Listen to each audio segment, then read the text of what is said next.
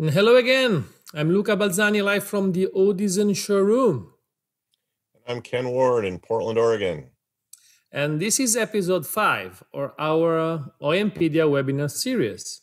And today's episode is based on selecting the proper bit processor.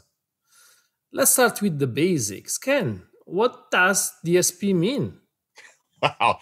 When you said you wanted to start with the basics, you weren't kidding. Yeah. Okay, just a minute.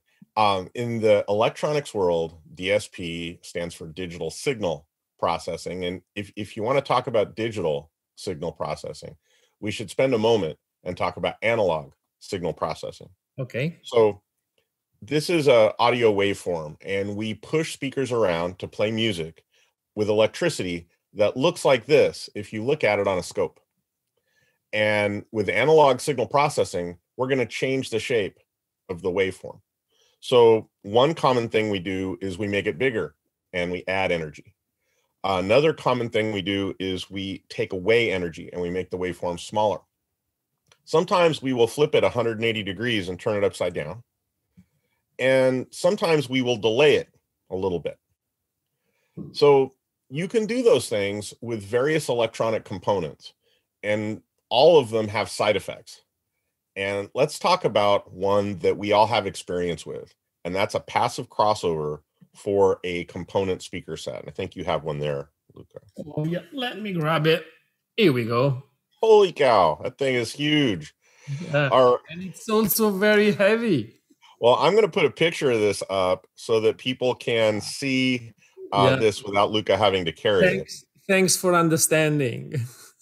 So this passive crossover network attenuates some waveforms. It takes some energy out of some waveforms and not others. So bass, if it's on the way to the tweeter, it will get attenuated. The energy will be taken out. And treble waves will get attenuated on their way to the mid-range. So these things are big, right? And the better they are, the bigger they get, the more they weigh, the more they cost to build. If you look in this picture, there's a lot of copper in this picture. And if you want to make these passive crossovers even slightly adjustable, they get even bigger and more expensive. So it's fair for us to say that if you take a passive crossover and you make it smaller and less complicated than this thesis passive crossover, that it has some compromises in the design. And this is true for almost all speaker crossovers in our industry because almost all speaker crossovers in our industry are smaller than this one.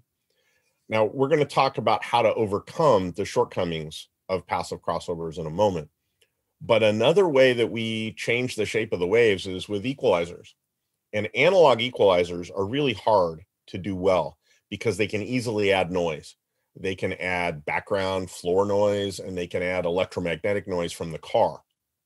And the reason that these things happen is because analog waveforms are very delicate and they're very fragile, and it's easy for bad things to happen to them during sound reproduction. And this is something that Audison has years of experience with because they make high quality amplifiers.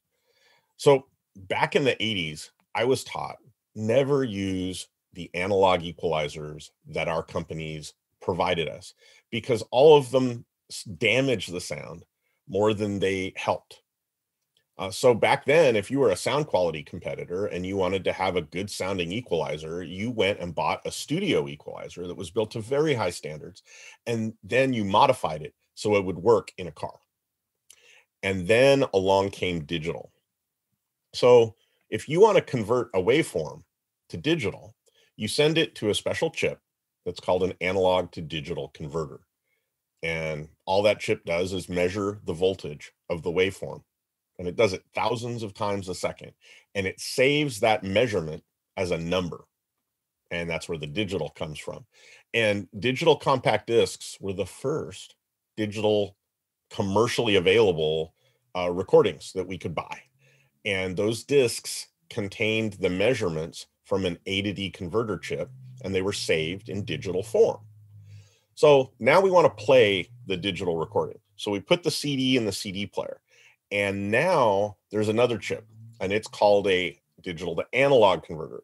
And what it does is it takes those measurement numbers and it creates a waveform that matches those measurements that were taken during the recording process. So digital signal processing doesn't change the shape of the analog waveforms. At least it doesn't do it directly. It's really complicated math using a lot of numbers very quickly. And it takes the numbers from the measurements and it changes them slightly. So it turns out if you do these calculations really fast, you can change these numbers before you send them to the D to A converter chip. And it happens fast enough to where you really don't notice anything. And because there's math involved, there's a lot of ways to screw it up. But if you change the numbers before sending them to the rest of the audio system, you can make a lot more changes with much, much fewer side effects than if you were trying to do all this in the analog domain like we used to. So, three things that we used to do in the analog domain that we can do in the digital domain now are controlling the levels, crossover filtering, and equalization. And you can even use all pass filters for phase processing. They used to be in the analog domain, and now we can do them digitally. Um, another one is delay or time alignment. And as far as I can remember, uh, there weren't any analog delay devices that were made for car audio for using delay the way we use it now. Um, there were some for special effects, kind of like guitar wah wah pedals for delay, but there, there wasn't anything for high fidelity. Um, so if you're in the digital domain, you can just take the numbers, put them in memory for a specific period of time, and then take them out at just the right time. And the best way I know to explain this is when you want to get your beer cold fast and you put it in the freezer, but you have to take it out at just the right time before it explodes all over the inside of the freezer. It's exactly like that. So, digital signal processing refers to the chip. And I think you have a chip there, Luca. Um, here we go. So that's the bit one DSP chip, isn't it? Yes, it is a good sight. so digital sound processors, which you know DSP also stands for digital sound processors, and those are the products that we use in car audio that have those little chips inside. So back in the old days, I remember the first DSP products coming out for car audio, and usually they just did one thing. I remember one that was just for crossover filtering and delay. I remember another one that only did equalization. And I remember another one that was only for OEM integration and didn't have any crossovers or any equalization adjustability at all. Yeah. But then a legendary product came out back in 2008 and combined everything OEM input dequalization, OEM input summing, crossover filtering, channel level control, and more. Channel by channel equalization, source switching with auxiliary and hands-free phone support, polarity inversion, groundbreaking fully digital signal path to the amplifier called Full DA. Eight channel inputs and late channel outputs, but let me show an emotional video of this timeless milestone.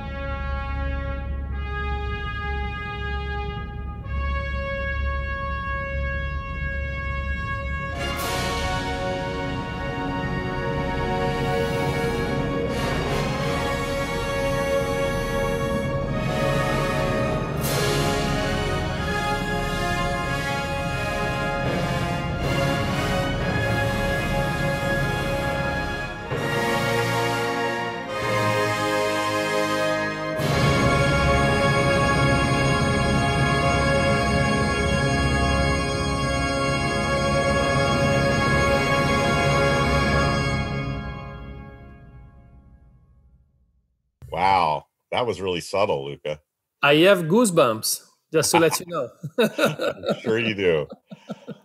Okay, so that bit one was one of the first processors to give us all of these tools that we almost take for granted today. It was really quite an achievement. Uh, yeah, and we think the Bit1 has been the most successful combination DSP processor for cars ever, with more than 50,000 units sold all over the world, as you've seen in the video. So let's talk for a minute about why it was such a groundbreaking product. What do we use all this DSP processing for? Well, the most important thing, and what we've been talking about in this webinar series, is to undo the processing that the OEM sound system is doing if that processing doesn't work for us. We talked about this a lot in episode two. There could be equalization. Nowadays, there usually is. Uh, it could be dynamic equalization that changes when you change the volume control. There could be active crossovers that limit the number of notes on a given channel. And there could even be phase processing. Now, the second thing is to compensate for cabin acoustics and for speaker locations relative to the listener. And I think this one, honestly, is undervalued today. Um, this is where DSP is really valuable, even if you have an aftermarket head unit, or, even if you have an external preamp that deletes all the OEM processing.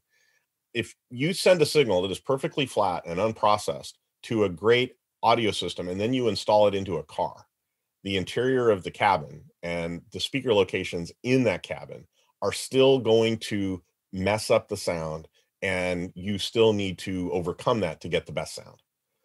So the third thing is some kind of control functions. And, what do I mean by that?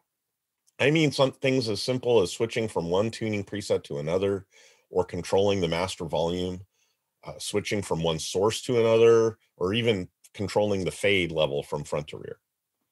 So there we go. Yeah, and those are the three big reasons, right? And now why choose right a bit processor?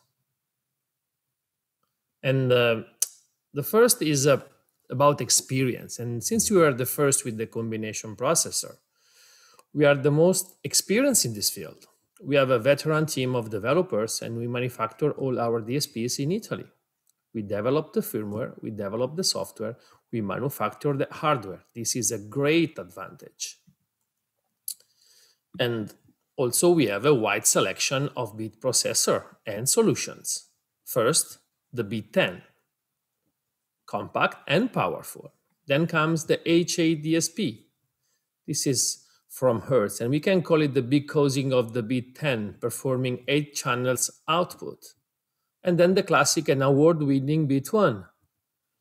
We call it classic as with B10 and H8 DSP are using a graphic equalizer and then we have the bit Nove from the new parametric generation. And finally, the newest and most advanced bit processor, the Virtuoso. Virtuoso, it is in a class by itself. By the way, Audison also has four different bit amplifiers, which we have discussed in past episodes. Each has outputs to process signals to external amplifiers as well. Audison avoids making things too complex. Each bit processor has a setup wizard that walks you through selecting the proper input assignment. And output configuration is done from a map of the car. You click on the speaker, you have it in your specific installation. We do the equalization and summing for you, freeing up to do the tune. And we also avoid making things simpler than they really are sometimes. Step up to the bit virtuoso and you get 12 input, 13 output channels, parametric EQ technology, input dephase correction, pass-through mode for up mixed or phase EQ, finite impulse response or FIR optional algorithm eliminates phase side effects on the sound. Up to 48 dB octave crossover filters, global input, and channel specific EQs. That is quite a list. It is. some of you might wonder why would you ever need a processor with 12 channels in? But I can tell you, we're seeing OEM systems that regularly have 10 or 12 channels or even more. Right. You can even go out today and buy a Honda Civic that has a 10 channel audio system in it. And Ken, would you walk us through selecting the right bit processor now? Sure, absolutely. So the three things that we're going to need to know in order to select a bit processor. The first one is how many input channels do you need? The second one is how many output channels do you need? And the third one is what else do you need? Hmm. So first, we're going to estimate how many inputs we need. Uh, why do you say estimate? Because we're not going to be absolutely sure until we pull the car into the install bay and take it apart and test the wires to see what signal is contained on each set of wires. But from a commercial point of view, we need to estimate this so we can sell the system in the first place. So let's talk about each of these three things. Now, in episode two, we talked about the six stereo presentations, and here's the list of the six stereo presentations. But if you missed episode two, uh, you might want to watch it on the Audison official YouTube channel to get a full explanation of this because we're only going to cover it very briefly. So once you know the stereo separate the stereo presentation that is being used by the factory system, you can decide which bit processor is better. And here is a list where I've sort of emphasized a few items for as being best for this application and crossed off a few items for not being appropriate. And there's two big things I want to point out on this list.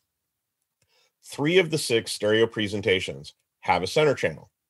If you're retaining the center channel, you got to remember the bit 10 and the H8 DSP do not support center channel retention. So I've crossed them off the list. Uh, if you're keeping a center channel, you want to use something with more inputs than a bit 10 or an H8 DSP. The second thing to remember is that if you have a system with an upmixer, or if you have a system with phase equalization, you can upgrade using various bit processors. We've talked about that in episode two and episode four. Now, we've talked about techniques to do this, but the Virtuoso has a pass through mode, and it's the ultimate tool for both of those scenarios. We'll talk about that more about that more in the next episode. Now, what else can we do at this point when we're designing the system before we've had the chance to take the car apart? So we talked about this in episode two. Count the speakers, look for badges, check for a center speaker, look inside the tone control menu of the radio to figure out what's going on. That's one set of things we should always do when we look at the car. You can also look up things online.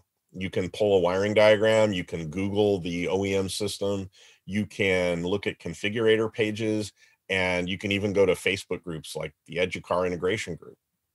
Now, here is a diagram of a base Honda Civic. And don't worry, this is not the 10 channel version. This is just the base audio package. And you can see there's four channels coming out of the radio and there's six speakers. There is no subwoofer. And since all the speakers look like they're the same size, we can expect they probably all have a full range signal. So the maximum number of inputs we would need on our bit processor would be four. And we can do this car with any bit processor because everything has at least four inputs from the input point of view. Um, also, by looking at this diagram, you can see there is no external amplifier. So we can reasonably expect the output voltage to be less than 10 volts AC. And that means all the bit processors can handle it. You won't need any kind of attenuator like an SLI 2.2. Now, you can look at this wiring diagram all day. It will not tell you if there is equalization applied to the signal. It won't tell you if it's dynamic and it won't tell you if it's fixed. Most of the time nowadays, there is equalization applied, but all bit processors have de-equalization built in. So it's not a big deal if equalization is present. Now, the dynamic equalization, the one that changes with volume, that requires a new master volume control to completely overcome. And that would mean you would have to install the DRC. So we don't know at this moment if we need a DRC to overcome dynamic EQ. Now, if it's a premium European car, you can check the BitDMI application page on the Audison website to see if there is coverage. Yeah, and remember that you need a Toslink input to use a BDMI.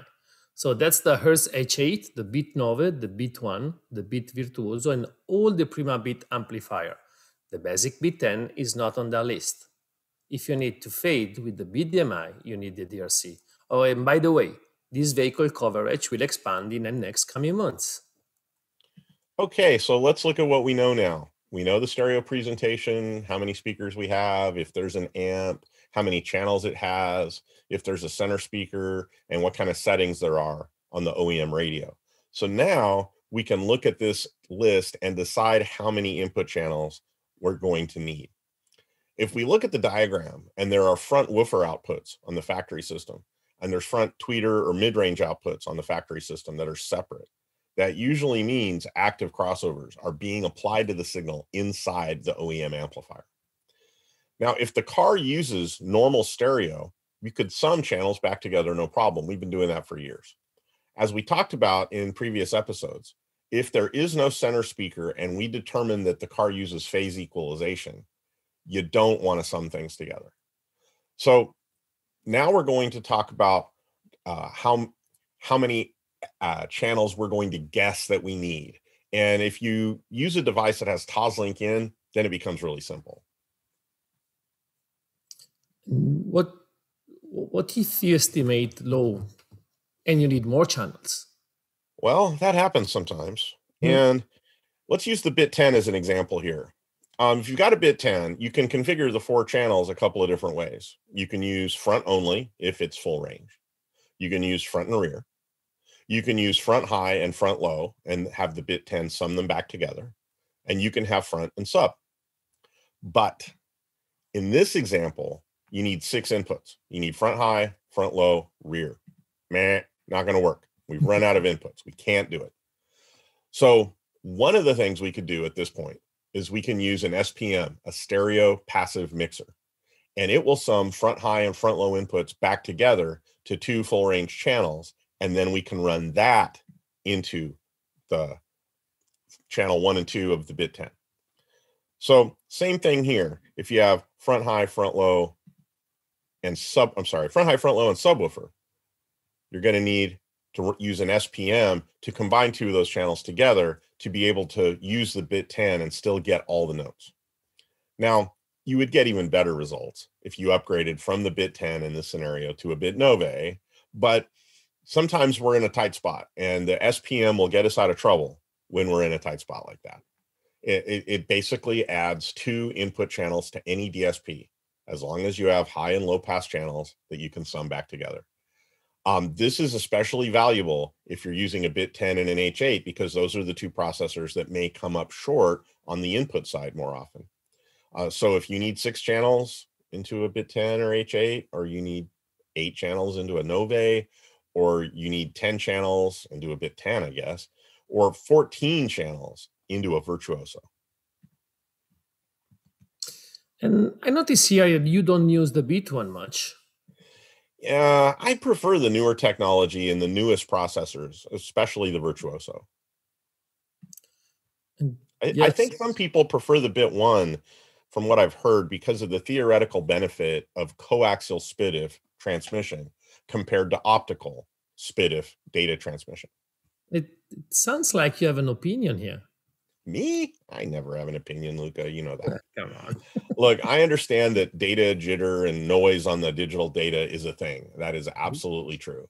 Um, but if you're worried about bad things happening to data pulses, let's put them on copper wires and run them through the electrical environment in a car uh, all of us in this business know what kind of noise can be picked up by wires in cars. So I would rather have my processor and my source unit be electrically isolated from each other if I'm worried about noise and, and jitter being added to the data. Yes. And we have actually done testing here in Elettromedia. And once you're in a car, we see lower level of jitter and distortion over optical than we see over coaxial. So we agree with you. All right. So now we're going to talk about testing the wires. And mm-hmm. this measurement step confirms that we made the right choice. If it turns out that we didn't make the right choice, it, this is the time to change it at the beginning. So these three things we will only know for certain if we test the wires. An all bit processor can handle DEQing the OEM signal, and all of them can accept a DRC to handle master volume in case car has a dynamic IQ. They all will perform automatic summing to address OEM active crossovers. Now, if the OEM system has some pretty dramatic dynamic equalization, you'll want to have a DRCMP in the system, I think, to give you volume control. Uh, What about DRCAB? Well, this is a point of personal preference, I guess. Um, I try to use the DRCAB with systems that require some control, like switching presets. But if you have a full-time volume need, the DRCMP has a great volume knob, and, and that is my favorite way to do it. So this is what I've been calling for a long time the three questions. Uh, these are what you have to test the wire in order to know. The first one is how many volts? Now, if you're going to test clean voltage, you need some kind of oscilloscope. And there is one built into the BitTune, and the, in, the manual for the BitTune will tell you how to do this. Uh, for simplicity in the slides, I'm showing a handheld oscilloscope. If you've never used an oscilloscope before, it's basically a cross between a voltmeter and a graphing calculator. So if you're testing for clean voltage, you need to test all along this analog signal path. Not the, the entire signal path is not part of OE integration, but I'm going to show you the whole signal path anyway. Because at any point here, you could be clipping the signal. And if you're clipping the signal, you could have a potential problem. You can see on the, the scope here in the picture, the signal went from having that nice sine wave to being clipped off the top and the bottom. And most source units will run out of output voltage at some point. So that's a really important place to test in your signal path. You have to know what point on the volume control it's the system will start to distort. Now, there's a some people are try to tell their customer don't ever play it above this point and that doesn't always work we know it doesn't always work but you still need to know what point the distortion starts because you have to calibrate the system without distortion in it and so it's really important for doing your deq step and your tuning step that you aren't clipping the system right there at the beginning of the signal chain now the signal coming out of the source might not be clipping, but if you're running it into your processor and the input sensitivity of your processor is set incorrectly, or maybe the processor can't handle the voltage that's coming out of the factory system, then you're going to get clipping happening here. And then, of course, if your amplifier is set incorrectly, you could get distortion coming out of your amplifier. Now, to take this one step farther, it is possible for you to clip your speakers. And that means your speakers are traveling farther than they're designed to. It, it, might be because you have the wrong crossover points or the improper setup, or you might just be trying to do something with low performance speakers that won't do what you want them to do. Yeah, but this you can test it with the scope. No, you can't test speaker clipping with the scope. There's very advanced testing equipment that exists to do that at the manufacturing level, but we don't have that kind of equipment in car stereo. So basically, you just eliminate all the other possibilities to make sure that it's really the speaker that's causing the problem. So here, if we're going to test the output of the, an uh, amplified system, we test the preamp signal and we'll play different sine waves and we're looking for the AC voltage on the oscilloscope. If we're just going to add a subwoofer, we use 40 or 50 hertz sine waves, for example. Now, this analog signal is going away. It's not as popular as it used to be. So oftentimes what we end up doing is we're testing the output of the factory amplifier. Now, we talked a little bit about high voltage situations. So here is an example. Um, this is in a BMW testing the woofer output channels. And you can see on the left, the waveform is just starting to clip off the top and the bottom. And on the right, you can see we're in hard clipping. I think this is full max on the head unit. And you can see the top and the bottom of the waveform are severely clipped off. Um, I don't know if you've noticed anything odd about this measurement, so I'll tell you. The voltage is off the scale.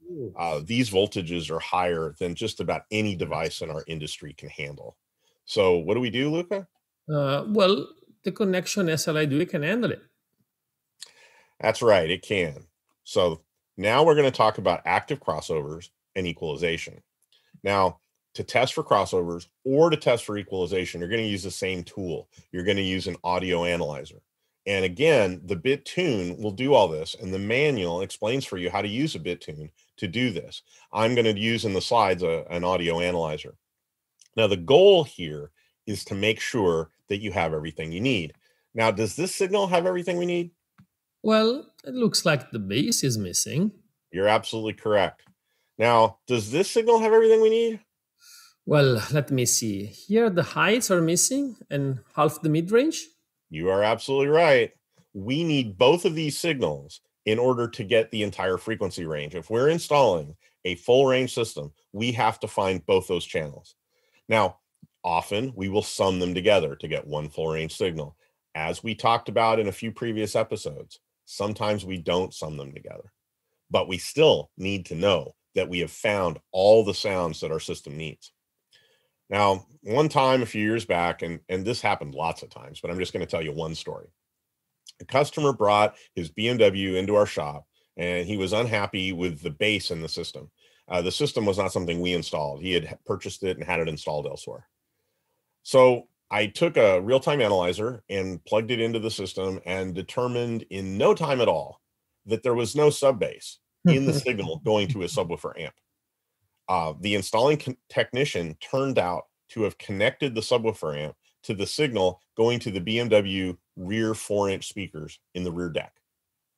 Now, this customer had been back three times and the specialist had not identified the problem. And, and because we had the tools and we tested, we identified it in like 60 seconds.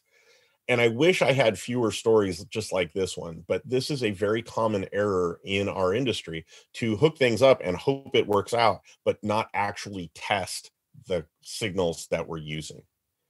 So, oops, let's see here. Hit the wrong button. So, this is testing the analog preamp output of the deck on its way to an amplifier. So these analog signals are still used in some cars, but they're not as common as they used to be. So occasionally you'll test one of these signals and you'll find out that the voltage doesn't change when you turn the volume up and down. So it's really important that you test by moving the volume up and down to see if that happens. Uh, one reason that you don't want to use that signal is you probably want your volume control to work. Uh, another thing that's really important is that if the signal doesn't get affected by volume, it probably doesn't contain hands-free call audio. It probably doesn't contain uh, navigation prompts, and it doesn't contain any chimes.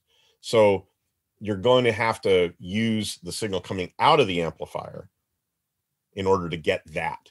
And here we're testing the signal coming out of the amplifier. Now that is going to have more processing applied to it because inside the OEM amplifier is where an hmm. awful lot of processing gets applied.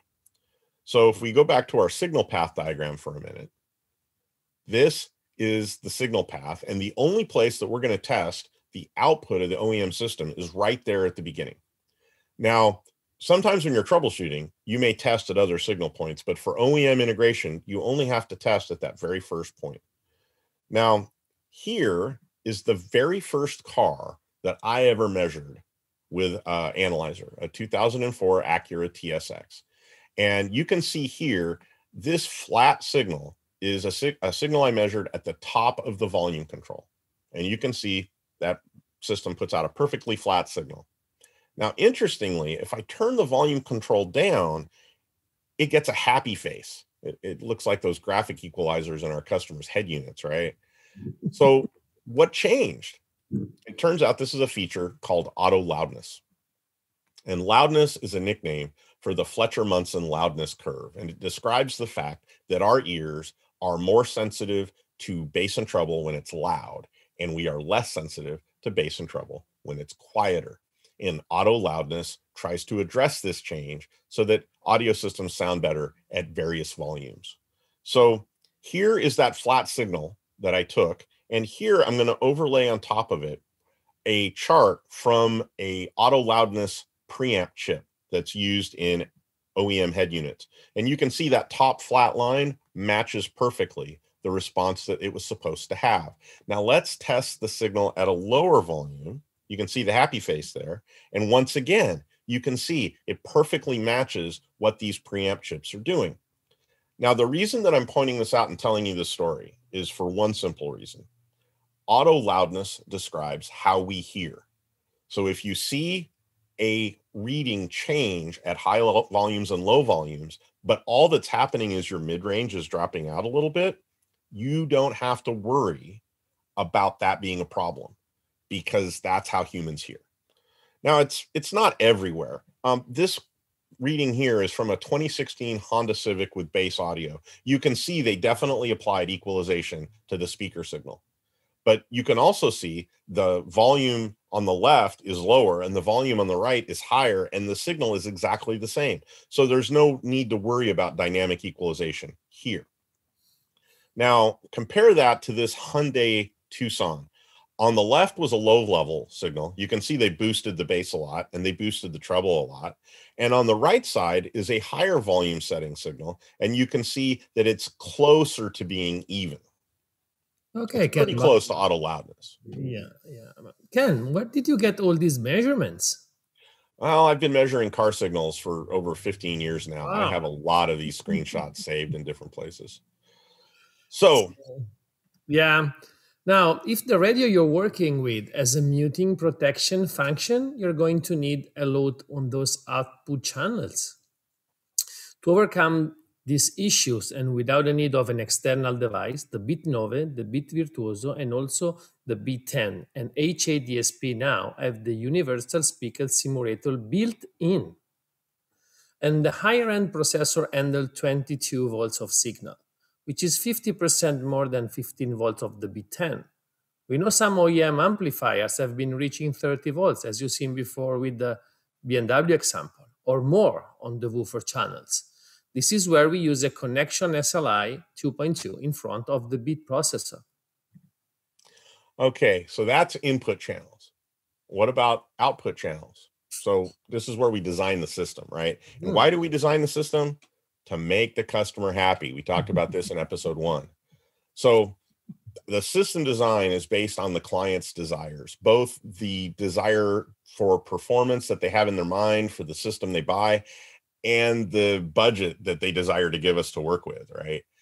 Um, so the number of output channels is determined by both those things. And after we do input, then we do output. We will talk about the other things in a minute. Now, if we're on a really tight budget, we're going to try to use the bit 10. If we need a Toslink, we'll use anything but a bit 10, right? Um, if we need coaxial, we'll use a bit one. Uh, if we're going to handle high resolution all the way through, we'll use a virtuoso. And if we need a multi-channel up mixer with lots of channels pass through, we'll use a virtuoso. Yeah, hold on. You use a virtuoso also if you want the best in sound quality, finite impulse response algorithms, a floating point DSP, audiophile grade capacitor operational amps, and digital to analog converters. Use a virtuoso. Hold on. I got carried away. We have an entire episode on Virtuoso in two weeks' time. That's okay, Luca. I'm looking forward to it too. so let's talk about system design just for just a minute or two more. That's Here is an example of a really basic system. And even though it's really basic, I think this is probably the most popular design for full range systems in our industry. Uh, we have a dedicated subwoofer amp channel, and then we have left and right front channels and there's an active crossover between the subwoofer and the front, and there's a passive crossover between the mid bass speaker and the tweeters. So we can use a bit 10 in this system because it only needs three channels. Now, if we want rear speakers, we can add two more channels for five, and we can still use a bit 10. Okay. So the bit 10 has five output channels. That's enough. And everything else has more. So this basic system, you can use any DSP in the bit line. So here is an example of a system like that. Uh, this is a bit 10 feeding a four channel amp in the SR line, the 4.500. And that is powering the APK 165P component set in the front using the passive crossovers. You can even see they're in the diagram.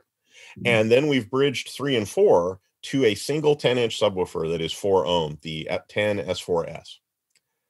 So here's the Hertz version of this same, and I, I venture to guess this is a pretty commonly installed system at specialist dealers. Here's a version of that in the Hertz line. You can see that we've got the ML Power 5, I'm sorry, the ML Power 4 being bridged, uh, the H8 DSP going into the ML Power 4. Then we've got a Mille Pro 10 inch sub and Mille Pro components using the passive crossovers.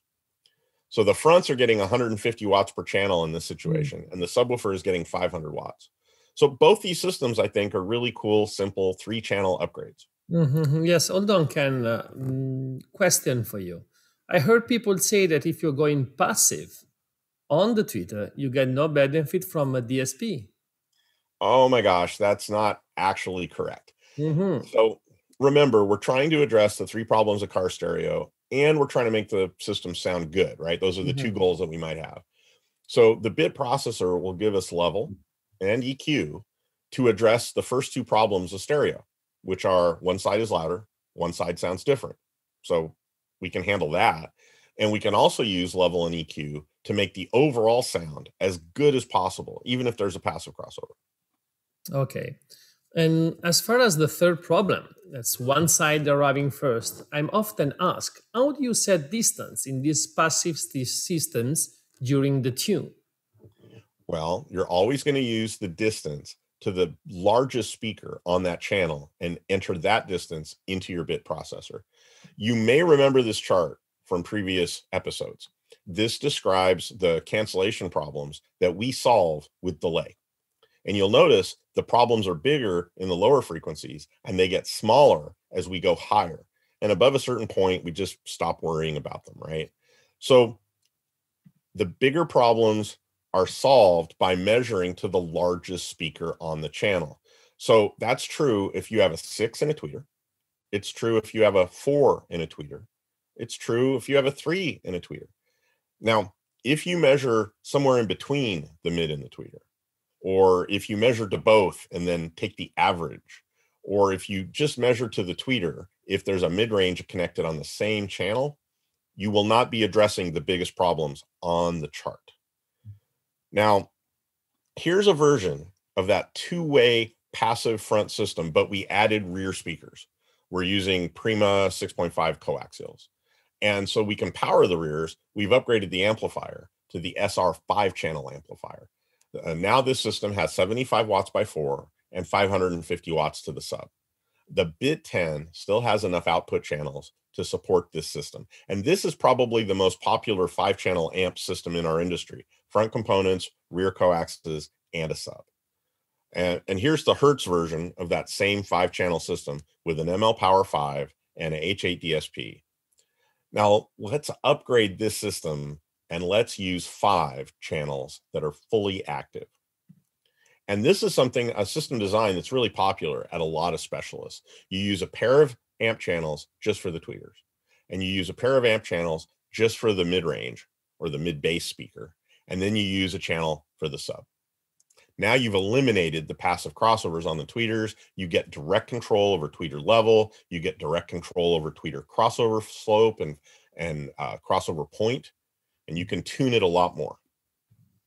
So here, 75 watts by four, 550 to the sub, and we've maxed out the number of outputs coming out of the bit 10. We've used all five. Now, it works great as long as you don't add rear speakers to your requirements. If you add rear speakers to the requirements, you're going to have to step up to the H8 or the Bitnove, and you're also going to need more amplifier channels.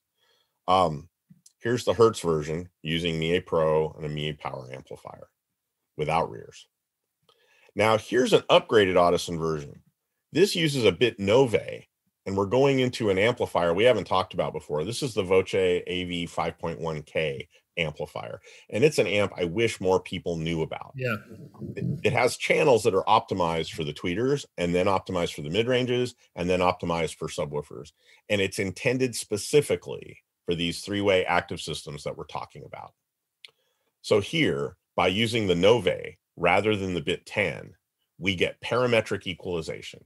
So it's an upgrade, even though we're still only using five channels of output. Yeah. And since uh, this series has been focused on OEM integration, we have not talked about the AV 5.1K before. And this is an amazing hybrid amplifier with class A channels for highs or mid highs, class AB for mid range or mid bass, and class D for the subwoofer. It really uses the best amplifier technology for each of these frequency bands. So here in this scenario, we're using that same amplifier, but we're using Toslink going into the mm-hmm. Nove. And that could be from a bit DMI or a C2O or a Toslink output head unit or some other device. And now we've upgraded from a Nove to a Virtuoso. And this has a lot of analog inputs that we could use. It also has more powerful parametric equalization. We can do a lot more fine tuning using a Virtuoso. and we could use one or both of the Toslink inputs. Now, the Toslink inputs on the Virtuoso are capable of handling 20, uh, 96 kilohertz signals with 24 bits of depth. Hmm. And remember, when you interface with the Toslink input with the Virtuoso, you can use Full DA technology, an exclusive to Audison technology to connect the Virtuoso to the AV 5.1K HD. And now you will have a digital signal traveling from the source all the way to the amplifier at high res resolution, at high res native resolution, I would say. You can do this with Voce and Thesis amplifiers. Now, when we use Toslink, it's important for you to remember the original Toslink spec did not support volume control. Uh, that was always supposed to be handled by a downstream preamp. Now, some devices support volume over the SPDIF stream nowadays, and some don't. So, if you're using Toslink, you may need a DRC to control volume. Um, also, SPDIF does not support front to rear fade. So, if you need front to rear fade in your system, the DRC can do that for you also. Now, here is a five channel four way system without rears. Uh, we're using a passive crossover from the mid to tweeter and then we're using an active crossover from the mid to mid bass. Um, this is most easily done with a five channel amp, but you can do it with a four channel amp and a subwoofer as well. And here is an example where we're using a SR 5.600 amp and the Prima APK 163 three way component set. Now, we are not using the crossover that came in that set for the mid bass we're giving the mid bass its own dedicated amplifier channel, and we're doing that actively in the processor. Now, getting rid of the mid bass passive crossovers eliminates the inductor coils that are inside there, and they're the biggest inductor coils in the crossover kit because it's the lowest crossover frequency that would be used. So we're making the biggest difference by getting rid of the biggest inductors. Now, we still use the included passive crossovers on the four inch mid and the tweeter because they're a lot smaller. And then you can see the subwoofer here is an APS 10D. So here's the same system with a Nove processor and a 5.1K amplifier, and we've stepped up to Voce speaker components. So we're still using a passive crossover between the mid and the tweeter. It's the CX 2WMH, which is specifically made for this application. And then we're fully active on the mid bass crossovers. And in the Hertz version of this, you can see that we've got a four way system, Mille Power 5, and the in both of these systems, you're going to measure the distance to the biggest speaker on the mid tweeter channel, which is going to be the three inch mid range, and enter that into the bit processor. So we talked about how on these systems we got rid of the big inductors. That's much more beneficial than worrying about the inductors in series on the tweeter. Now, the second thing is when we lower, we we get rid of the lower passive crossover and we go active, we get more benefit from using delay, especially when we're trying to integrate it with the bottom end of the mid range and the top end of the subwoofer. Now here's a big system. I just put this one together. It's got three amplifiers. It's got front two-way active. It's got rears. We bridged an ML Power 4 for the mid bass. That's a pretty big system. But let's look at full-on four-way fully active systems for a minute. Now, even without rears, you can't do this system with a bit 10. There's just not enough outputs on a bit 10. Now, let's see.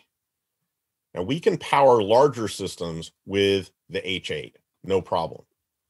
Now here, this is a four-way fully active multi-channel system with active three-ways in the front, active three-ways in the rear, a two-way active center, and a subwoofer. And this is basically the premium Meridian systems in the Range Rovers and the Jaguars. And when you run into a car that has this many channels and this many speakers from the factory, you're going to want to decide how many of them you're actually upgrading. Now, let me explain that a little bit. Um, if you leave the three-way actives and the rear doors out of your upgrade plan, you can then use a single virtuoso and grab every channel you need in the car. And that's a pretty smart play. Um, you do get less benefit from upgrading the rear door speakers than you get from any other speaker channel in the car. Now, if you need to upgrade those as well to get maximum volume from the system, you will either need to use two virtuosos or an easier way to do it would be to use a Prima bit amplifier just on the rear doors. Now, here is an example of an upmixed pass-through system. This is kind of a medium power system in that we're using two 4.300 four-channel amps and a 5.600 five-channel amp. So if you add that up, it's 75 watts by 12 channels and then 550 watts to the subwoofer. Now, maybe you want more power than that. So here is an SR amplifier system with three 4.500s and a 1.500 subwoofer amp. This system is 130 watts by 12 channels, and it's a thousand watts to the subwoofer. So both of these are great upmixer retention systems, and obviously you can go farther by using amps higher up on the Audison line, like the Voce or the Thesis. Now, this is what you could do in a BMW that had Logic 7 upmixing, for example. You can see that we've added the SLI 2.2 on the woofer channels because we know those are reaching high voltages. So we've talked about the input side and we've talked about the output side. Let's talk for just a minute about the third point. Other. Uh, other? What do you mean by other? Well, let me show you really quickly. Um, obviously, the first one is do you need a DRC? Hmm. If you need it, it's easy. All the bit processors support the DRC. Now, what if you need Toslink? Hmm. That's pretty easy. Like the bit 10 doesn't have Toslink in. The bit 10D had Toslink in, but that is not in production going forward. Mm-hmm, mm-hmm. What if you need two Toslinks? Mm-hmm. Well, there's two Toslinks in the Nove and the Virtuoso. That lets you use a bit DMI alongside a high res player or a C2O converter if you want. Or a, or a PlayStation. Yeah, okay. so now here's the bit one and the bit virtuoso offer you variable equalization. Why do you have variable equalization? Maybe you want to do your own auto loudness adjustment, but it basically will work. You set a low level EQ and a high level EQ, mm-hmm. and as you turn the knob on the the um, DRC, the equalization will progress from one extreme to the other. But it works best when you use the DRC as a volume control. Now, do you need parametric equalization? Oh I yes, think so. I think everybody needs parametric equalization. It's my we favorite. parametric equalization. Now, what about pass-through mode? Now, hmm. pass-through mode lets you run 12 channels through without summing them, and you can still hmm. equalize them. And hmm. if you need it, the Virtuoso is the only one that has it. It's also the only one that gives you manual input equalization of each of the various inputs and it's the only one that gives you a global tuning equalizer. What that means is you can tune each of your individual equalizers to get left and right to match. And then when you tune the overall system, you have another equalizer that you can use. Now, as we talked about in previous episodes, they're starting to use phase processing in OEM systems. And if you want to undo it, you're going to want a Virtuoso that has all pass filter correction built into it. Yeah, yeah. And the Bit Virtuoso has a high resolution support all the way through. So if you have a virtual Thesis amps, you can play up to 60 kilohertz or even higher. This is the processor you need. And the Bit Virtuoso, again, is the best sounding automotive DSP processor in the world. The Bit Virtuoso Audison uses the most popular DSP chip in studio grade equipment used by professionals around the world. A floating point architecture allows you more precision and dramatically reduces noise and quantization errors. This is very common in recording studio equipment, but rare in car audio. It has FIR mode, which allows manipulation of the signal without introducing phase side effects. It has audiophile parts, capacitor, resistors, operational amps in the circuits. But I won't go into the virtuoso in detail until the next episode, but we firmly believe it's the best in the world. So here's the three step process you make sure you have enough inputs, you make sure you have enough outputs, and you check to see what other features or performance capabilities are required by the system. Mm-hmm. So let's go over the bit line really quickly one more time. We've got the bit 10, four channels in, five channels out, summing DEQ. We've got the H8, four channels in, eight channels out, and Toslink. We've got the bit, the classic bit one, eight in, eight out, SPDIF coaxial, and uh, uh, uh, to Toslink. It uses a floating point DSP and it supports full DA. Now, the bit Nove from the new parametric generation has six channels in and nine channels out. It has two Toslinks and like I said, and it has USS speaker loading built in.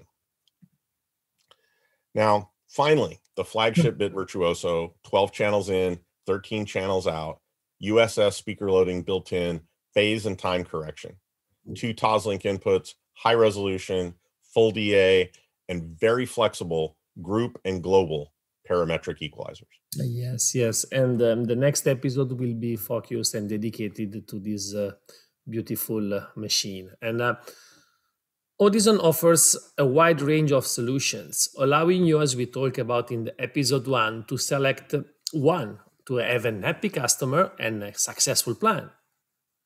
Well, that was a lot of information, guys. I want to thank you for sticking through it. I mean it. And I'm quite sure now you know how to choose the right DSP. Do you want me to back up? We can do it again. No, no, no, no, no. Let's see if they have questions. So to the attendees, please use the Q&A function. And sorry to insist on this point, but if you use the chat, it's going to be erased while the Q&A remain in our file. So we might follow up uh, even later. Let's have a look. All right. Uh, so that's Jimmy. Can I add one more? That's key. Jimmy Bradfield was asking earlier that can I add one more that's key? Maximize performance of the amplifiers and speakers. But yeah, Jimmy, that... we actually we actually talked about this a little bit uh, when we were writing uh, this this episode, and um, first of all, we are assuming you started with Audison amplifiers and speakers, so we, we you've done that. Um, but seriously, the when you are correcting the performance of the speaker in the car, you can't tell the difference between the shortcomings of the speaker and the shortcomings of the location. It's kind of like room uh, uh, room optimization uh, algorithms for home audio. They can't tell either. So you'll be doing both at the same time. You're absolutely right. So does Holger saying how do you count count the eight inputs in the bit one? Mm. I, I I uh, don't know if I've used a a, a bit one in in a while. So okay, so we'll get back to Olga surely with the detailed reply on this. Uh, Diego, buenas tardes, Diego. Buenas tardes. ¿Cómo puedo controlar el ISS o ruido de piso en un bit 10 conectado a radio IM? Diego is asking cómo, yes, cómo se puede, cómo, how you can eliminate uh, background. Muy poco y muy mal. But I think what you're talking about is background noise when you run a factory radio into a bit 10. And there are a couple of situations that can cause background noise. One of them is if you need full-time load resistors on certain head units. I know this has happened with Toyota. Another one is if you are using a very, very low level signal and you have to test the voltage to see if it is very low in voltage. If it is very low in voltage, like a preamp signal, you may need to run it into the aux input of the bit 10 instead of the speaker input of the bit 10. Um, but we would really need to talk offline about exactly which car you were having the problem with because I don't think it's something you run into with every car. Okay, guys, more questions.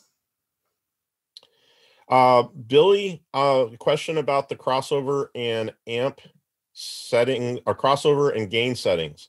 Um, my answer is don't use the crossovers in the amplifier when you're setting your bit one turn it off, and uh, just use the crossovers in the bit processor. There are installers out there who one time early in the history of DSP had a DSP forget what the crossovers were. And so now they turn on the crossovers in the amplifier every single time. Mm-hmm. That those are trust issues. Don't do that. Um, if you want to be certain, use a series capacitor on your tweeter on an active tweeter system so you don't blow up the tweeter, but you don't need to use the crossovers in the amp. Now, setting gains, quite honestly, we could have an entire episode just on setting gains.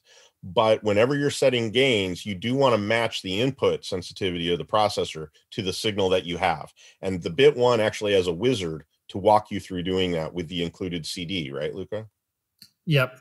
Yeah, exactly. Then we have uh, Scott Harrell asking, what is the difference in the Bit1 HD versus the Virtuoso? I can reply this because I had, uh, as you know, can uh, an intense session with our DSP guys. so basically, the functionalities of uh, um, of the two processors are the same. There have been um, hardware improvement and some uh, uh, extra plugs in order to interface it with new equipments. But uh, from uh, basically from functionalities point of view, both on the IIR and FIR function, it's just the same. When the Bit1 HD was introduced, it didn't have some of the functionality that was added with software version 2.0, which works in the original Bit1 hardware but it also works in the Virtuoso 2.0 and, and beyond. I think H Bit1 HD didn't have USS speaker loading either. Mm, possibly, don't not sure about it, but possibly yes. And then, Olga, um, which crossover did you use in the Hertz example with the four-way system, six channels? The passive crossover was the one that came with the component, the Hertz component set. Um, come on, guys. I we're here for a few more minutes. I don't know if it's uh, the case to. Here we go. Thanks from the. Oh. Thank you, Olga, for your great attendance and attention. I'll get back to you on the Bit1. Don't worry. Okay, we have no questions in the chat, so I think it looks like we've covered yes. everything. Is yes. There, uh, and uh, anybody else has one before we before we go home for the day? Uh, Jimmy say great job explaining the SPM4. Everyone should have them in stock. Yes, I was thinking that exact thing. I should have put that in there. Every, if you cannot use the SPM4 if you didn't order it and have it ready. Yes, and it Good saves, point. and it save, and it's a parachute sometimes, right, Ken? Yes, it is. Yes, that's what it is. Okay, so if you want to put up the slide with the, we have a um, support. Uh, can we? You can rely on, and it you can write to us anytime. So um, it is uh, the, the mail. It is support at elettromedia.it, and can if you can show it uh, on the screen and uh, we're always available here for any question uh, meanwhile from uh, one episode to the other but uh, before leaving before leaving uh, let me let me tell you what is going to be the next episode and as we repeated several times even if we tried introducing the Bit1 hd virtuoso or the virtuoso better said uh, episode 6 is all all about virtuoso and we will focus on how to use at its best the most advanced OEM integration processor in the market. So it's all for today.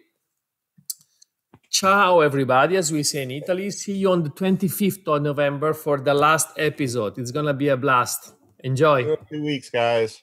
Bye. Bye bye.